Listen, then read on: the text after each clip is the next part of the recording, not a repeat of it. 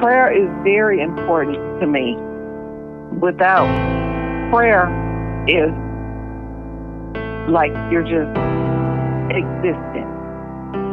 And I don't I don't know how you can go a day without saying talking to him in some kind of shape, form, or fashion. Um, you could just be talking and not realizing you're praying. To me, prayer is you communicating with God and you're speaking. Your tongue has power.